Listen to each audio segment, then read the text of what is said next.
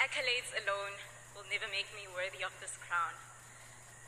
I am proud of them, but I understand that they're a direct result of me being exposed to certain opportunities, which is why I believe in the power of matching up opportunities to God given potential.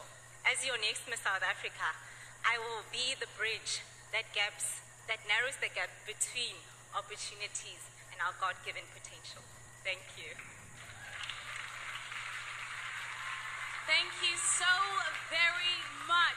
Thato. There you go, South Africa, top three